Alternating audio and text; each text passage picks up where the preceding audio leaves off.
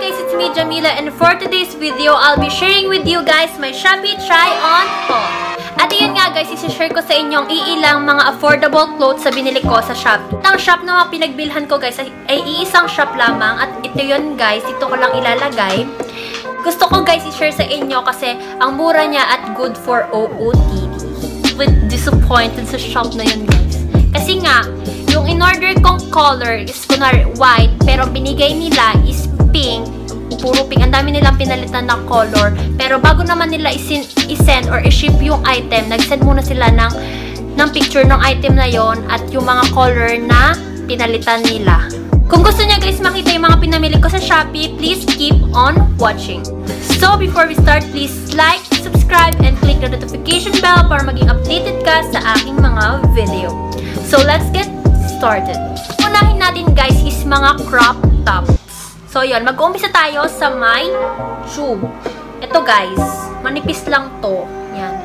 Binili ko ata dito is 55 pesos. Kaso, itong damit na to is sa ibang shop. Kaso hindi ko natandaan kung saan ko binili. So, yun. Makikita nyo naman yung search nyo lang. Mga crop tops.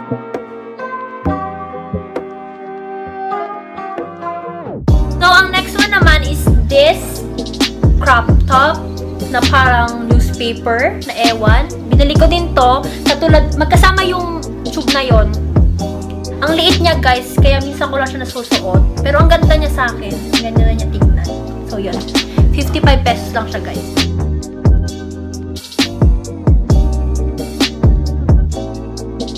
Ang papakita ko mga damit na guys is galing sa Abubot PH. So yun. At ang aking unang papakita ay itong crop top na off-shoulder.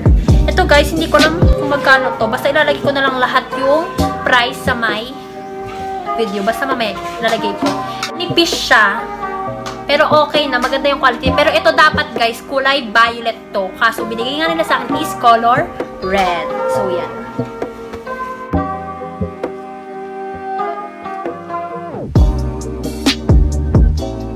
Next naman guys, is itong crop top na para may tali-tali.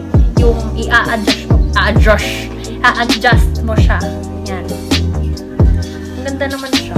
Ito, nakita nyo na to sa profile ko eh. Yan. Ang ano niya guys, yung tela niya, spandex. Manipis din. So, yun.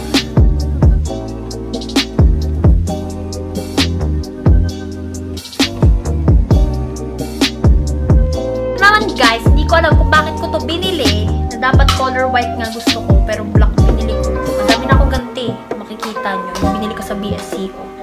Yan. Ano din siya, yung tela niya, spandex. Yan. Maganda din siya. Ang ganda ng fit. So, yun.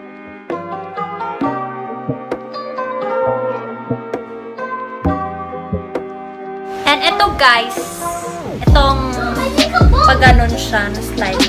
Crop top din siya. Tapos, lower back. Ganda yung likod niya, guys. Kita yung likod mo. Nasuot ko na siya. Favorite ko to as in. And then, manipis yung tela niya din. Parang konting ano mo lang, mawawarak na. Siyempre, anong ina-expect mo sa 75 pesos below ng uh, damit, diba? So, yun.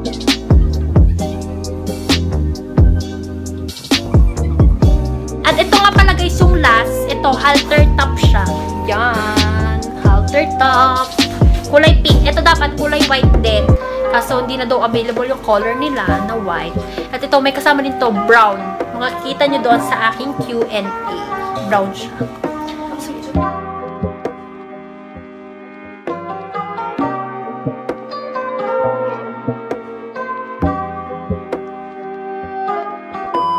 Ayan guys, pupunta naman tayo sa mga dress na mga pinamili ko.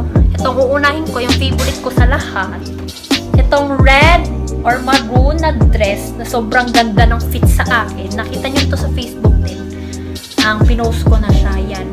Medyo manipis nga lang siya, guys. Yan. Nalagay ko na lang din yung price sa baba. So, yan. Ganda niya. Ang ganda ng fit sa akin. Super. I love this dress.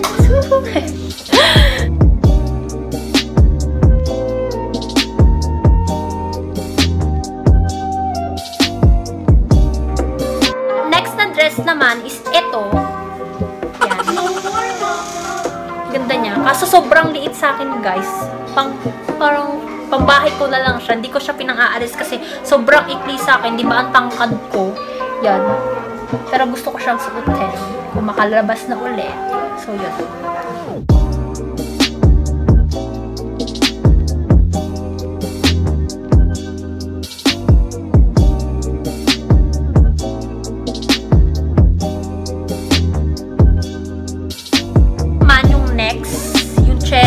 Bomb. Charot cherry na ano, cherry na styles. Cherry. Ito guys, yung dress na cherry yung tatak. Yan, favorite ko din siya. Favorite ko din to siya guys kasi nga nakakaputi siya. Ito to, ma medyo okay naman sa akin, medyo mahaba. Yan, pwede ko pa siyang suot panlabas.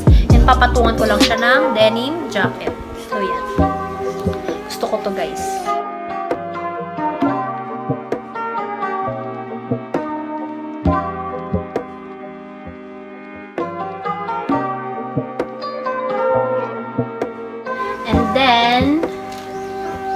This one. Tayo ko ng color nito. Ewan kung bakit ko pinili. Isang pangit. Ang pangit niya pag sa siya. Ang pangit niya pag sa picture siya. Ewan ko. Nasuot ko na to sa birthday ni Ate Hazel. Yan. First time ko sinuot. Di pa ako nag-denim nun. Kasi wala pa akong ano. Wala pa ako nun na na yung bra na walang strap. So yun. Kaya na kay ate lang. Lahat yun sinusuot mo. Hindi mo ako nagbabra, charot.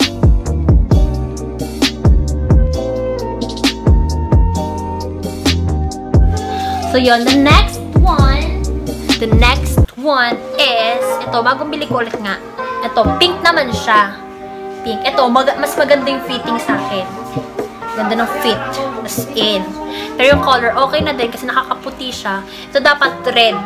Kaso pink nga yung nabigay. So, okay naman.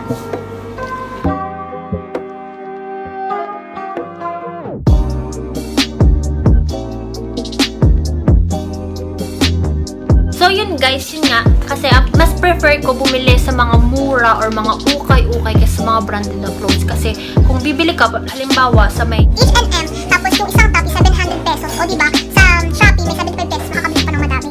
So yun,